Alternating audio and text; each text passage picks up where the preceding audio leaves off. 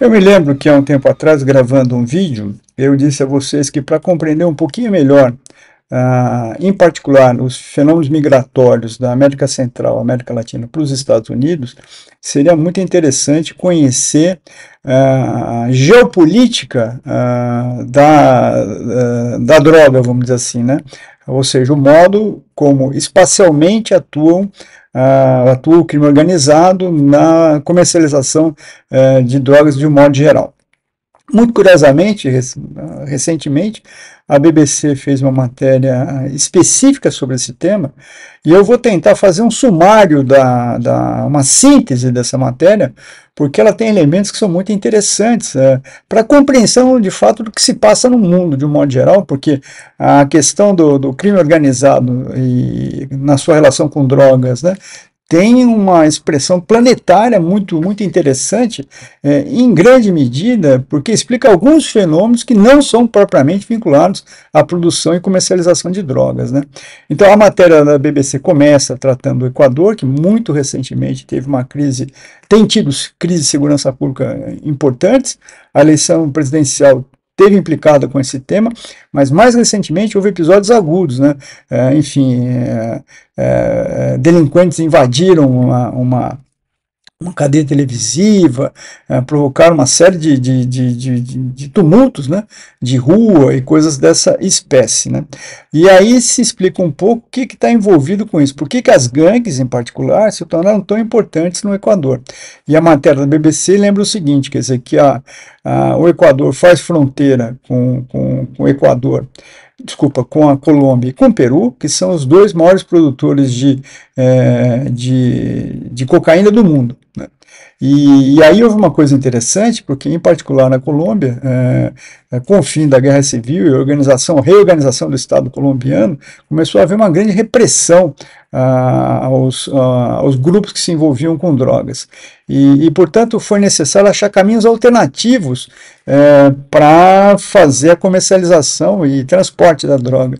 E foi nesse sentido que, que curiosamente, né, apareceu uh, o porto de Guayaquil, no Equador, que passou a ser um dos mais importantes no trânsito da droga aqui da América do Sul para o México e depois do México para os Estados Unidos. Né? É importante lembrar que, que, que a questão de drogas no, na Colômbia teve, em princípio, envolvida, implicada com, com, com grupos uh, paramilitares como, e rebeldes, né, como a FARC, que quando assinou o Tratado de Paz abandonou esse, essa prática, mas uh, houve ali dissidentes que acabaram encampando uh, aquela atividade criminosa e, enfim, deram sequência à, à exportação e produção de drogas. Né?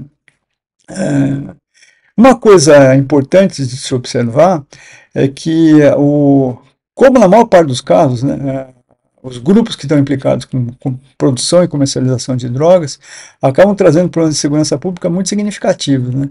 Então, na matéria da BBC, é um gráfico é, que indica que, as, é, que a, os homicídios por 100 mil habitantes né, no Equador quadruplicaram é, entre 2013, é, mais precisamente entre 2016 uh, e 2023. Né? Então não é coisa pouca, uh, houve um aumento assim é, muito expressivo da violência, né? e quem paga essa conta, fundamentalmente, é a população, que eu vou chamar de civil, porque no final das contas você tem de um lado o Estado reprimindo os grupos uh, de crime organizado e de outra parte esse pessoal muito bem armado e por diante, então acaba se estabelecendo quase que uma guerra de guerrilha uh, por questões de natureza territorial, enfim, uh, de, de, de, transporte da droga, comercialização, uso de portos e, e coisa desta, desta natureza, né? Outra coisa que a matéria da BBC traz que é muito relevante é que houve um, um aumento importante é, no consumo de drogas, aqui medido por, por número de usuários estimados, né? Então, em 2011 haveria como alguma coisa como 240 milhões de pessoas que usavam algum tipo de droga. Em 2021, a, chegou-se ao patamar de 296 milhões. É, o que quer dizer o seguinte, é óbvio que aumentou a produção de drogas, né, e ela também se espalhou um pouco geograficamente, mas também é evidente que houve uma quantidade aumentada de consumidores, o que estimula justamente a produção. Né? É, outra coisa interessante que a, que a matéria mostra é como que se dá uh, por região do globo, né? O consumo de drogas e Américas é, e Europa estão assim bastante na frente dos demais continentes é, no consumo de drogas das mais variadas espécies. Né? Então aqui falam muito rapidamente é, do, do, é, do, da, da América da América Central e do Sul, né, e a sua implicação com as drogas. Os atores importantes são vários, mas aqui tratamos de Equador, Colômbia uh, e uh, Bolívia, e também do próprio México, que acaba sendo uma espécie de um aglutinador de, de das drogas produzidas para fazer a venda, em particular, uh, nos Estados Unidos. É, é, é, preciso entender, no entanto, que, que também na África, por exemplo, né, há, uma, há uma, uma quantidade importante de, de, de, de, grupos implicados com a produção de drogas. Então, é, o primeiro é, país que está bastante envolvido com isso, e quando eu digo país, quero dizer o seguinte: quando o crime organizado vai ganhando uma certa importância, relevo, ele acaba de alguma forma é, se infiltrando quando não lidera as instituições de Estado, as agências de Estado. Né? Então você tem, na verdade, um, uh, o próprio Estado, de certa forma, acaba atuando subsidiariamente, quando não principalmente, né, para fazer a tanto a produção quanto a comercialização de drogas. E um pouco o que aconteceu nesse caso, coisa semelhante a essa, se deu no, na Guiné-Bissau. Né?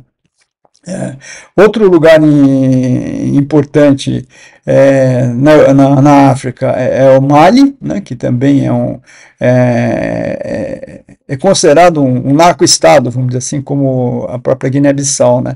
E, e o que se observa na matéria é que grande parte do estímulo para a prática dessas atividades, né, produção e comercialização de droga, são os lucros estupendos que se obtém é, com essa atividade. Né? Então, é, enfim, há um mercado consumidor amplo, é, há países é, de terceiro mundo bastante menos organizados do que o mundo desenvolvido, né?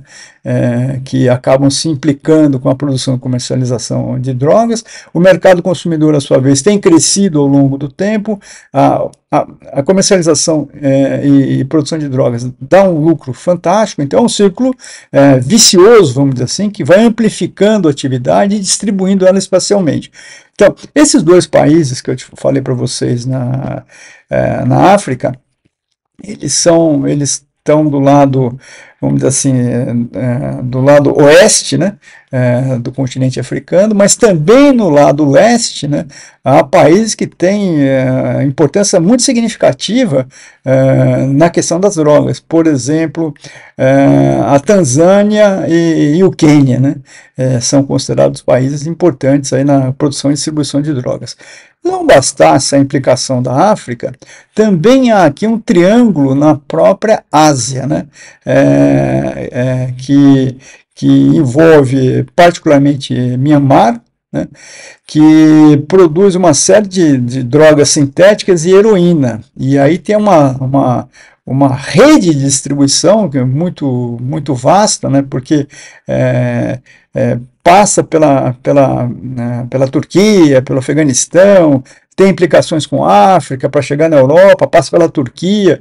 Então há um imbricamento de, de uma parte grande da, uh, dessa faixa, né, que vai de uh, parte da África até a Europa, né, uma faixa de terra, uh, e pega a Ásia como o limite extremo a, a leste, né, que está implicada também ela com a produção e comercialização de drogas e e aqui a matéria, para finalizar né, esse, essa, esse rápido giro pela, pela geopolítica do tráfico, fala também da Síria, é, que produz uma droga que se chama Cap, Captagon, né, um nome interessante, que é, é uma espécie de cocaína dos pobres, né? E, e, a, e a venda, inclusive, sim, se, ocorre em particular aqui na, na, no Oriente, né? no Oriente Médio. Né? Então, como, como rapidamente eu mostrei para vocês, é, existe de fato uma geopolítica do tráfico uh, que compreende América Central e América do Sul, uh, África né, Ocidental e Oriental, ali o, a Ásia, né? E tudo isso, de alguma forma, convergindo para Estados Unidos, é, desculpa, para as Américas e Europa, que são os maiores consumidores no mundo. Se a gente superpuser esses mapas, de alguma forma, este mapa, né, a, a, aos fluxos migratórios que têm maior intensidade no mundo, talvez a gente perceba uma proximidade dessas coisas.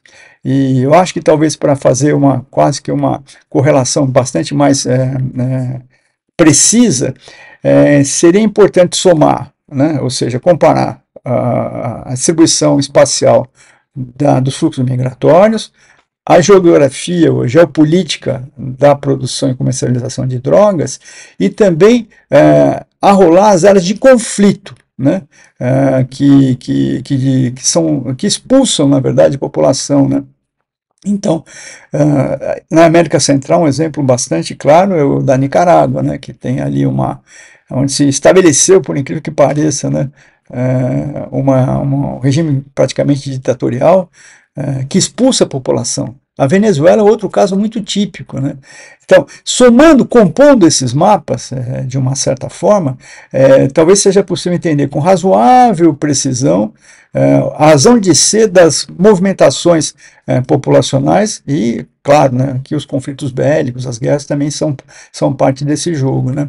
É, é, quero dizer com isso é, o seguinte: é, é, claro que as pessoas se movimentam num globo é, animadas por uma certa expectativa de melhoria de qualidade de vida, isso é um fato. Óbvio, né?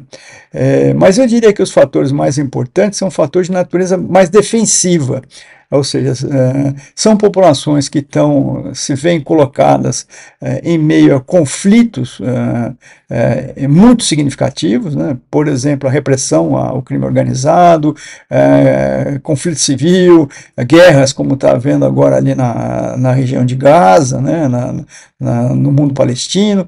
Então, essas coisas deslocam população e as pessoas precisam ir para algum lugar.